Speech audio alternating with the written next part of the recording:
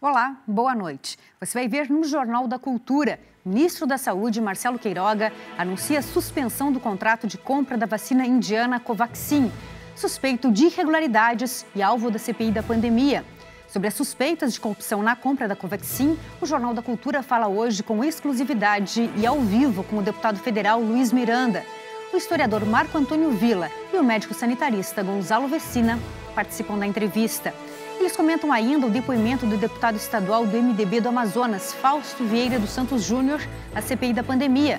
O aumento de 52% na conta de luz, que vai pressionar a inflação, e a combinação de vacinas diferentes para grávidas, autorizada pelo Rio de Janeiro. É daqui a pouco no Jornal da Cultura. Até já!